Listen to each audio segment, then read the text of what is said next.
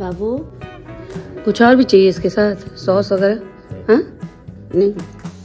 आज मैं शेयर कर रही हूँ आपसे अपनी मॉर्निंग रूटीन चलिए स्टार्ट करते हैं। Hi friends welcome back to the new vlog Mona कहती है तो कैसे हैं आप सब? होप कि आप सब ठीक हैं।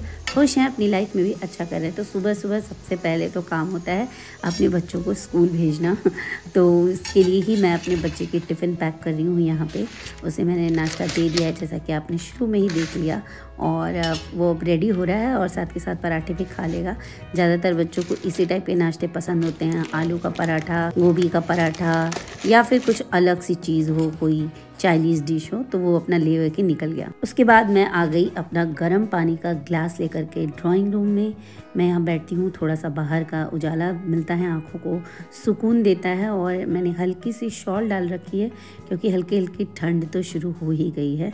और थोड़ी देर मैं अपने साथ ये टाइम बिताती हूँ, जो कि मुझे बहुत पसंद है। तो घूट घूट करके गुनगुना पानी लेती हूँ, कपाल भाती करती हूँ, अनुलोम विलोम करती हूँ।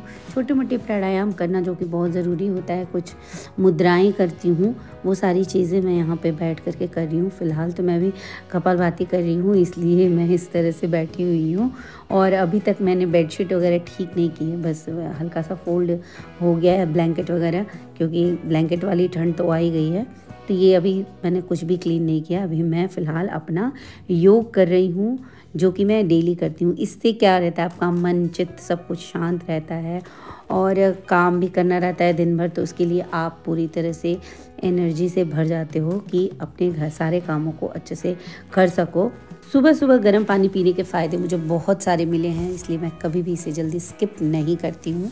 व्रत में तो वो सर्गी वर्गी लेते हैं ना तो उस समय पी लेते हैं पानी। मगर वो मैं ज़रूर अपने टाइम पर उसको मैं हमेशा ही मिस करती हूँ। तो मैं यहाँ पे अपना ये करती रहूँगी और स्लोली स्लोली गुनगुना पानी घूट घूट करके पीती रहूँगी। थोड़ी बहुत फेशियल एक्सरसाइजेज भी मैं करती हूँ, उसको भी मैं नहीं मिस करती हूँ, क्योंकि अगर आप थोड़े बहुत फेशियल एक्सरसाइज कर ले तो आपकी स्किन वगैरह अच्छी रहती है ग्लो करती है एजिंग के साइंस भी जल्दी नहीं दिखते हैं, क्योंकि उम्र तो हो ही रही है।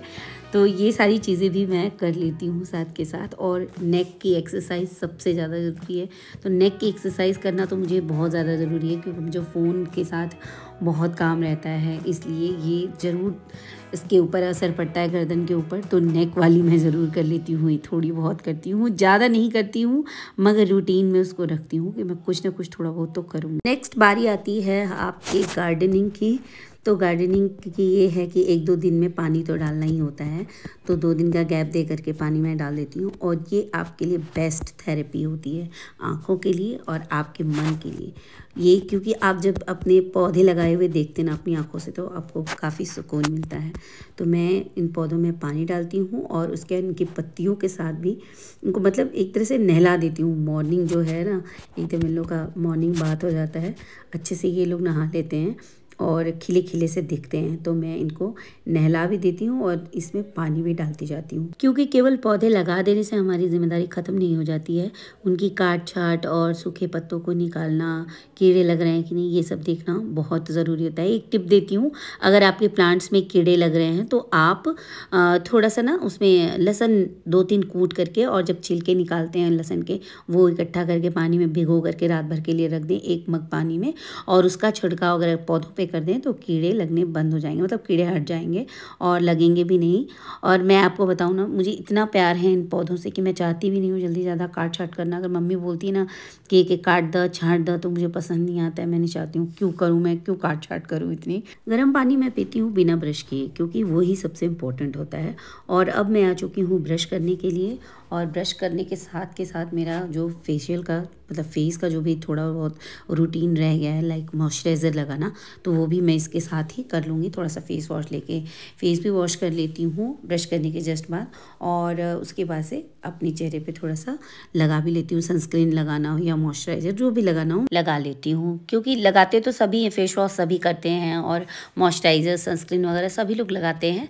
बट ये है कि जब आप टाइम पर नहीं लगाओगे तो उसका बेनिफिट आपको नहीं मिलेगा। स्किन जब एकदम से सूख जाती है ड्राई हो जाती है फेस वॉश किया हल्का सा उसको डैप डैप किया और उसके तुरंत बाद आपको स्किन पे मॉइस्चराइज़र लगाना ज़रूरी ही होता है, क्योंकि जब आपके चेहरे में नमी होती है, उसी वक्त वो अच्छे से मॉइस्चराइज़र को ऑब्जॉर्ब करता है, आपका जो स्किन है फेस है।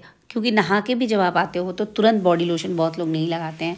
आराम से बैठ जाते हैं या अपना काम बाकी काम निपटाने के बाद बॉडी लोशन लगाते हैं तो बॉडी लोशन भी अक्सर नहाने के तुरंत बाद ही लगाना चाहिए।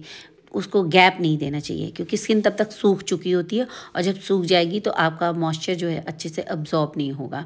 तो उसके तुरंत बाद मैं सबसे पहले आ कर के अपना ये सब लगा लेती हूँ मॉइस्चराइज़र उसमें कोई भी लापरवाही नहीं। सारे काम तो हम समय पे ही करते हैं तो अपने लिए क्यों समय ना दें? अपने लिए भी समय देना चाहिए खुद, क्योंकि सबसे ज़्यादा इंपॉर्टेंट आप खुद हो। जब आप अपनी खुद को इम्पोर्टेंस दोगे तो आपको अपने आप इम्पोर्टेंस मिलेगी। अब जाके नंबर लगा है मेरी फेवरेट चीज़ का जो है मेरी गुड़ वाली चाय और ठंड के मौसम में भाप निकलती हुई गरम गरम चाय सभी पीना पसंद करते हैं।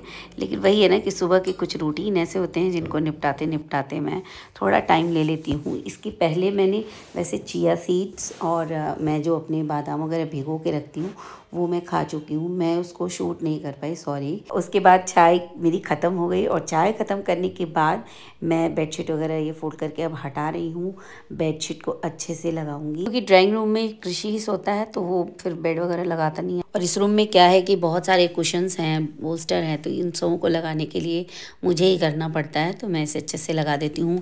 इसके बाद मैं अपना सोफ़ा वगैरह का भी कवर क्लीन करके लगा दूँगी। अब बारी आ गई है मेरे बेसिन की तो थोड़ा बेसिन चमकता रहता है तो मुझे बहुत पसंद है तो एक दो दिन मैं इसमें हाथ मार ही देती हूँ। आज मैं थोड़ा इसे हारपिक से क्लीन कर रही हूँ, थोड़ा ज़्यादा गंदा लग रहा था मुझे तो मैंने हारपिक लगाया और जो वॉल है ना, उस पर ऐसे स्पॉट्स पड़ जाते हैं, जो सामने वाली वॉल है तो वो भी पूरा क्लीन करना पड़ता है, सब कुछ हटाना पड़ता है, ब्रश का स्टैंड वगैरह तो उनको हटा करके उसके बाद ही मैं सब सफ़ाई स्टार्ट करती हूँ, क्योंकि सामान रहता है तो फिर इधर उधर गिरता पड़ता रहता है तो वो पूरा हारपिक गिरा के और क्लीन करने से बहुत ज़्यादा चमक आ जाती है, बिल्कुल शाइन करने लगता है आपका बेसिन ब्रश वाला जो स्टैंड है जिसमें ब्रशेस वगैरह रखते हैं ना तो वो भी बहुत गंदा हो गया था। मैंने आज उसे भी धो ही डाला। मैंने सोचा कि धो दूँगी तो फिर कई दिनों की छुट्टी हो जाती है। ये सब तो डेली डेली नहीं करना होता है मगर ये इतना ज़रूर करना होता है। और उसके बाद मैं आ गई थी अपने पूजा स्थल पर और ये कोई काम नहीं है। ये मन की संतुष्टि है। इससे बहुत संतुष्टि मिलती है। जब आप दीपक जलाते हो धूप जलाते हो भगवान की सेवा करते हो, उन्हें साफ़ करते हो, उनको प्रसाद चढ़ाते हो तो ये सब चीज़ें मन की संतुष्टि के लिए होती हैं, मन शांत होता है ये सब करने से। मुझे बहुत खुशी मिलती है अपने घर में पूजा करके। सबसे ज़्यादा मुझे घर के अंदर बैठ करके पूजा करने में, मंदिर में तो हम लोग जाते हैं तो इतनी हड़बड़ी रहती है भीड़ भाड़ रहती है। ऐसे जब कभी शांत हो और भीड़ ना हो, तब आप जाओ तो आपको अच्छा लगेगा।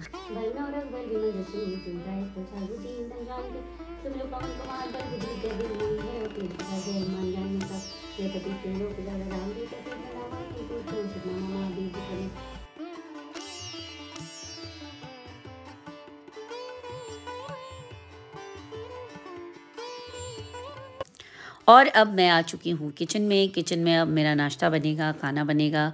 जो जो चीज़ें बनानी होंगी, वो सारी चीज़ें होंगी किचन में।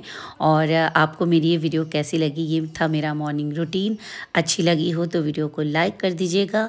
और अगर पहली बार मेरे चैनल पर आए हैं तो चैनल को सब्सक्राइब करके जाइएगा। खुश रहिए पॉजिटिविटी बांटते रहिए, इस तरह की पॉजिटिविटी बाय बाय